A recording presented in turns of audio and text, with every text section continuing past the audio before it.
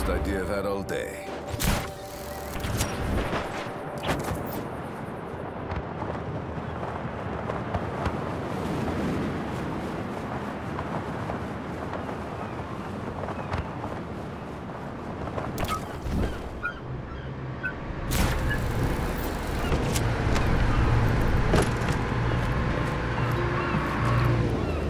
Good day for a swim.